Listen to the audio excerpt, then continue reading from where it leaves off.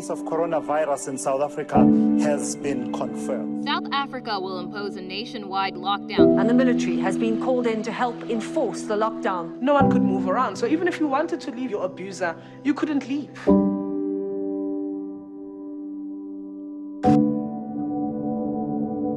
coronavirus spread of the virus was always going to cause and uh, fatalities as well. Lockdown by the president.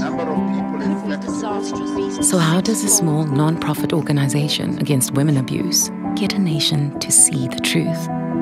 Introducing The Abused News, the world's first augmented reality news takeover using AR face tracking to apply bruises to a presenter's face as she read the COVID news live to show millions of South Africans the pandemic they weren't hearing about. Using advanced AR software, we developed a unique face mesh identical to our presenter's profile.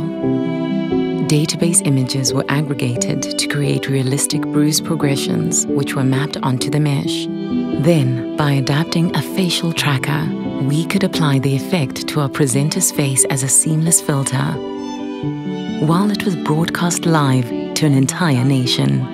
Amid fears of a possible second wave of the coronavirus pandemic, this comes as government increases efforts to contain flare ups in localized areas across the country. The effect was instantaneous, sparking an outcry across South Africa's social media. Outbreaks are expected to see the total is number creating the abused news? Another pandemic.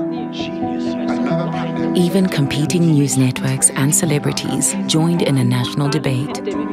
For the first time ever, a newsreader had given a voice to the abused without having to say a word.